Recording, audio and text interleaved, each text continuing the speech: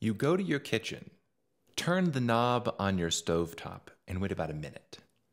You start to notice that the pot of water you had on the stovetop begins to boil. And as a curious person, you ask, why did this happen? Why did the water boil? There's a particular method of thinking, a tool of critical thinking, that is incredibly powerful and guaranteed to profoundly increase your understanding of the world. I call it zooming in and zooming out. And this is the example we're going to use of zooming in and zooming out, the pot of water boiling on the stove. But zooming in and zooming out can also be abused and is most often abused. People are too zoomed in or too zoomed out, and they actually lack understanding because they have the wrong resolution for their analysis of some phenomenon. So, consider the water boiling. We say, why did it happen? Okay, let's zoom in a little bit. Well, okay, well, what are all of the things that we're observing taking place in this example? Well, there's the knob uh, on the stove. We notice that the orientation of the knob changes. And then we see underneath the pot of water, maybe there's a coil that gets red. And if we put our hands up, we can feel heat coming out of the coil. And then we notice it gets hotter and hotter and hotter, and the water seems to get hotter and hotter. And then eventually the water boils. Okay, we've zoomed in a little bit more on the phenomena we're observing. But let's zoom in even more. We say, okay, well, hang on a second. Why is it that the when the orientation of the knob changes, it causes this red coil to get hotter and hotter? Why does that happen? And if we keep asking questions, uh, we're already in the in the domain of something like physics, maybe even quantum physics if we want a fundamental explanation for how does heat work. But imagine we zoom in even farther and we say, okay, hang on, let's really try to grasp cause and effect here. Let's try to isolate in our minds all the, the variables and then just change one variable at a time to see if we can pick out cause and effect. Is it the case that actually turning the knob itself, the only the spatial orientation of the knob, is the thing that causes the water to boil. I think you can, if you think about it, really, think through the logic of it, it's not actually the orientation of the knob which makes the water boil. Like if you held everything else constant, just the orientation of the knob has no logical connection, no causal connection with the water boiling. And so the person who's too zoomed in concludes, aha, in fact, you cannot cause water to boil by simply turning a knob on your stovetop. You can see where that would be a, a, mistake of resolution that, well, it might actually technically be true that the, just the orientation of the knob doesn't change things. It's that one variable changes another variable, which changes another variable, which changes another variable, which ultimately results in the water boiling. That would be an abuse of zooming in. But let's do the same thing when we zoom out. So we've recognized that, okay, well, there are multiple variables at play that seem to be interconnected here. So maybe we're content with saying, well, we don't understand the laws of physics, but we understand there's some kind of connection between the turning of the knob, starting a chain of events which causes the water to boil. But why is it the case that that happens? Like, why should it be that uh, thermodynamics is the way that it is? Do we understand why, uh, why that's the case? We'll zoom out a little bit more. Well, we're talking about uh, areas of physics here, maybe maybe really big picture physics.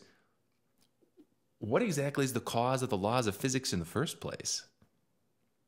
And then you might end up with a question like, well, I, the, the, I don't know, the structure of reality is the reason for the laws of physics, or maybe the Big Bang ultimately caused the water to boil. And you ask, well, hang on, what, what is the cause of the Big Bang? You go, oh, well, it's God, or there is no cause, or something like that.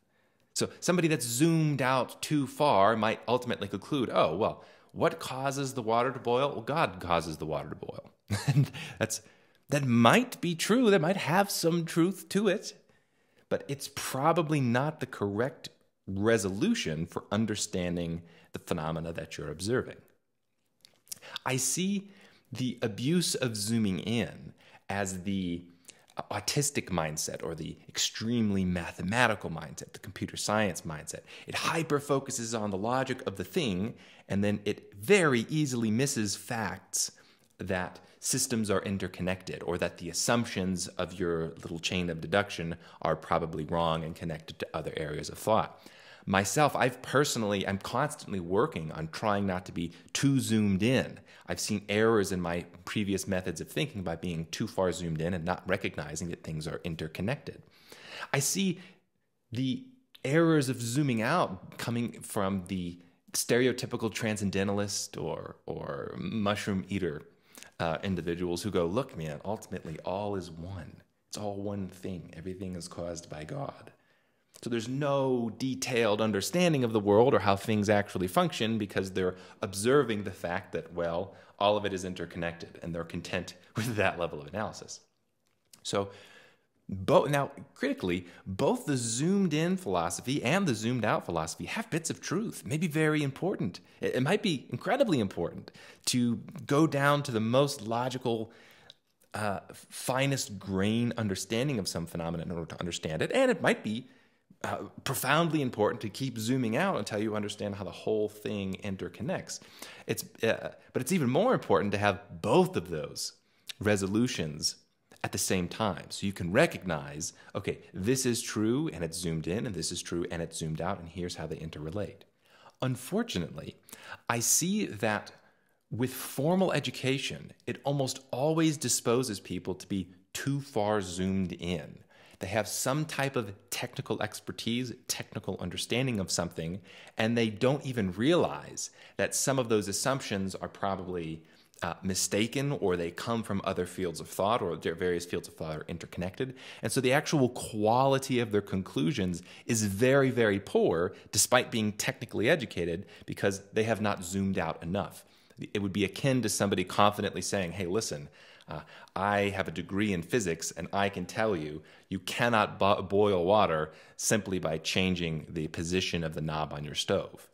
Right? There's a kind of over education and over focus where they actually, their conclusions are completely wrong, despite them having some very focused uh, uh, understanding of the truth. Because they miss the big picture, they effectively uh, have built some theory that is does not correctly explain reality. A good analogy might be literally like taking pictures of reality.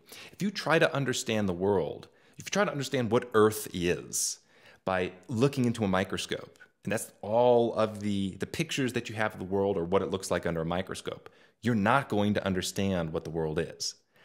Similarly, if you try to understand what the world is by imagining what it would look like from the perspective of the sun, you know, if you're 90 million miles away from Earth and you're looking at it, you, oh, I know what the, wor- the, the world is. It is a blue dot in a field of black. You're going to be missing all of the details if you had uh, various pictures of different resolutions. In fact, all of the resolutions are important because reality is very, very, very, very vast. So you want to have the microscopic, you want to have the macroscopic, and the whole range in between. I hope you guys find that helpful. You'll find that over time, if you try to intentionally zoom in and say, okay, I'm going to try to understand the details of cause and effect here, uh, your understanding will increase. And if you try to intentionally zoom out and say, okay, what are the other variables? How do they interconnect? Your understanding will increase. And then you may realize that this is kind of a primary skill in really having strong critical thinking ability is to manually and intentionally adjust your level of zooming in and zooming out.